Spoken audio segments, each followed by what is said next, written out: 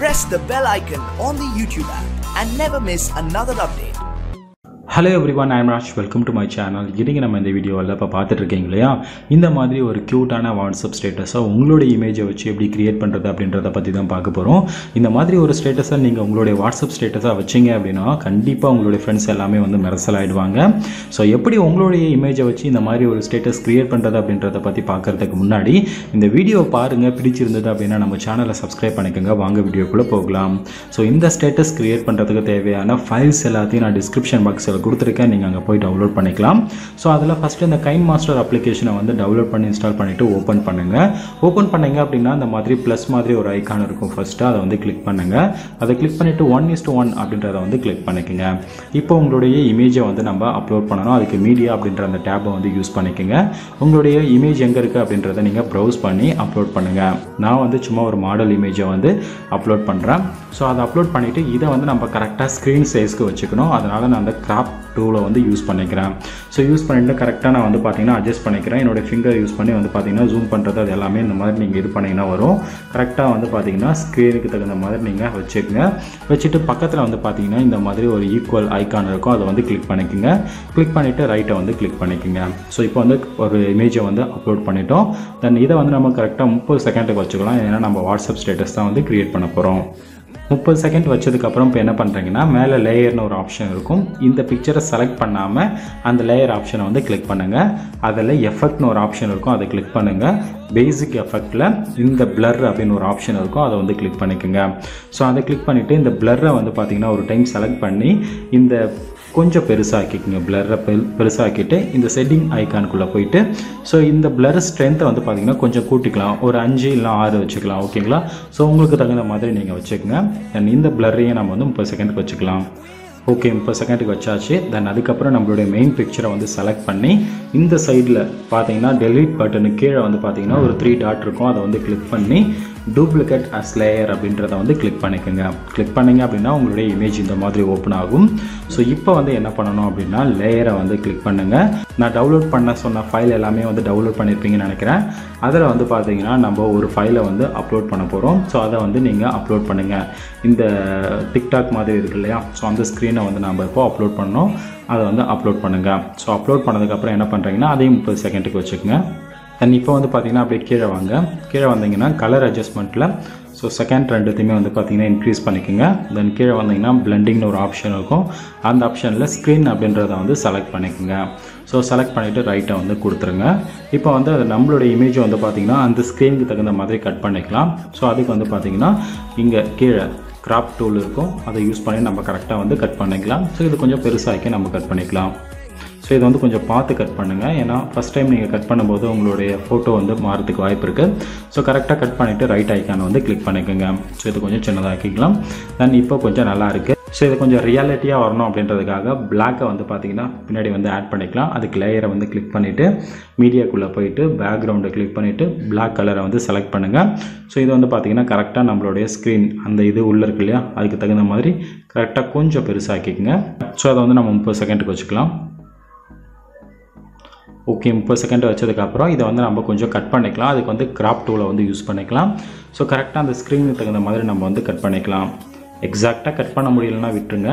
So இந்த மாதிரி வச்சதுக்கப்புறம் ரைட் ஐக்கானை கிளிக் பண்ணுங்கள் அந்த கலரை வந்து சாலிட் கலர் இருக்குல்ல பிளாக் கலரை வந்து செலக்ட் பண்ணி இந்த டெலிட்டு கீழே இருக்க அந்த த்ரீ பட்டனை கிளிக் பண்ணி சென்ட் டு பிளாக் அப்படின்றத வந்து கிளிக் பண்ணிக்கோங்க. ஸோ இப்போ வந்து பார்த்தீங்கன்னா அதை கொஞ்சம் பெருசாக்கிக்கலாம்.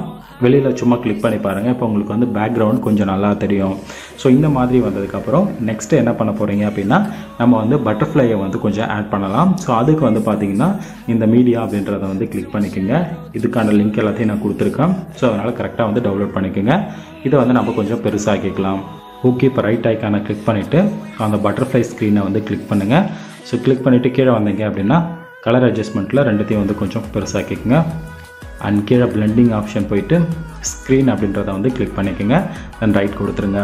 தென் அகெயின் வந்து பார்த்திங்கன்னா நமக்கு ஒரு சின்ன மியூசிக் வேவ் இருக்குது அதையும் நம்ம ஆட் பண்ணிக்கலாம். அதே மாதிரி மீடியாக்குள்ளே போயிட்டு ஸோ இதுக்கான லிங்க்கே நான் டிஸ்கிரிப்ஷன் பாக்ஸில் தான் கொடுத்துருக்கேன். ஸோ ஆட் பண்ணிக்கோங்க. ஆட் பண்ணதுக்கப்புறம் கீழே வாங்க. ஸோ கீழே வந்தீங்க அப்படின்னா இந்த பிளெண்டிங் ஆப்ஷனை கிளிக் பண்ணி அதே மாதிரி ஸ்க்ரீன் அப்படின்றத வந்து கொடுத்துக்கலாம். ஸோ இந்த மியூசிக்ஸ் இருக்கு இல்லையா? சாம்பிள் மியூசிக் வேவ் ஸோ கடைசியாக ஆட் பண்ணல. அது கொஞ்சம் கீழே எடுத்துகிட்டு வந்து உங்களுக்கு எந்த இடத்துல வேணுமோ வச்சுக்கோங்க. அதே மாதிரி எவ்வளோ பெருசாக வேணாலும் நீங்கள் வந்து வச்சுக்கோங்க. கரெக்டாக ஏதாவது ஒரு இடத்துல வந்து வச்சுக்கோங்க நீங்கள் ஸோ இந்த மாதிரி நான் இந்த இடத்துல வைக்கிறேன் இப்போ. ஸோ வச்சுட்டேன். இப்போ வந்து அந்த பட்டர்ஃப்ளை இருக்கு இல்லையா? ஸோ அதை வந்து நம்ம பின்னாடி கொண்டு போயிடலாம். அதை வந்து அந்த த்ரீ டாட்டை வந்து கிளிக் பண்ணிக்கோங்க. ஸோ சென்ட் டு பேக் அப்படின்றத வந்து கிளிக் பண்ணிக்கங்க. இந்த மாதிரி பின்னாடி போயிடும். ஸோ ஆல்மோஸ்ட் நம்ம எல்லாத்தையுமே வந்து நம்ம ஃபினிஷ் பண்ணிட்டோம். இப்போ ஃபைனலாக வந்து பார்த்திங்கன்னா இதுக்கு ஒரு பார்டர் மட்டும் கொடுக்கலாம். அதுக்கு லேயர் போயிட்டு ஹேண்ட் ரைட்டிங் அப்படின்றத வந்து கிளிக் பண்ணிக்கோங்க. ஸோ இந்த இடத்துல ஃபஸ்ட்டு வந்து ஷேப்பை வந்து நம்ம ரெக்டாங்குலர் செலக்ட் பண்ணிவிட்டு அண்ட் கலரை வந்து ஒயிட் செலக்ட் பண்ணிக்கோங்க. அண்ட் கீழே வந்து ப்ரஷ் சைஸ் இருக்கும். அதை நீங்கள் கரெக்டாக செலக்ட் பண்ணிக்கோங்க.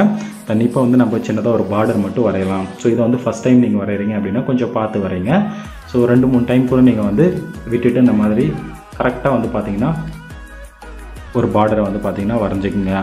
ஸோ அப்போ தான் கொஞ்சம் பார்க்குறதுக்கு ரொம்பவுமே நல்லாயிருக்கும் பார்டர் அப்படின்றது ரொம்ப ரொம்ப முக்கியமான ஒன்று ஸோ இந்த மாதிரி பார்டர் வரைஞ்சதுக்கப்புறம் அதையும் நம்ம முப்பது செகண்டுக்கு வச்சுக்கலாம்.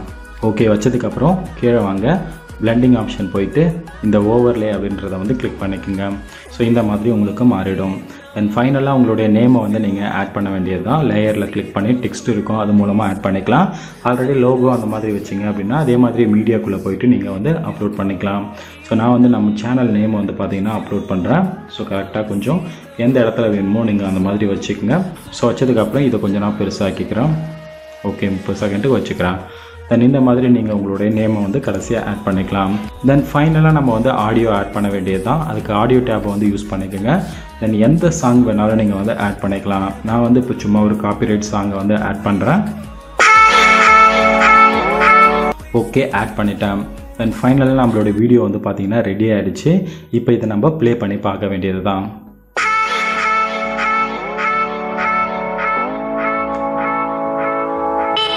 ஓகே நமக்கு ரொம்ப நல்லாவே வந்திருக்கு. தென் ஃபைனலாக இது ஓகே அப்படின்னா இங்கே பக்கத்தில் வந்து பார்த்தீங்கன்னா ஷேர் ஐக்கான் இருக்கும். அதை கிளிக் பண்ணி நமக்கு தேவையான ரெசல்யூஷனை வந்து நீங்கள் இங்கே வச்சுக்கலாம். நார்மலாக வந்து பார்த்தீங்கன்னா ஹெச்டி வந்து வச்சுக்கோங்க செவன் டுவெண்ட்டி பி வச்சுக்கோங்க.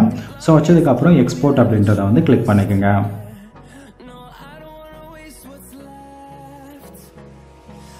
ஓகே ஃபைனலாக வந்து பார்த்தீங்கன்னா உங்களுடைய மெமரி கார்டுக்கு இது வந்து எக்ஸ்போர்ட் ஆகிடுச்சு ஃபோன் மெமரியில் இருக்கும் இல்லை மெமரி கார்டில் இருக்கும்.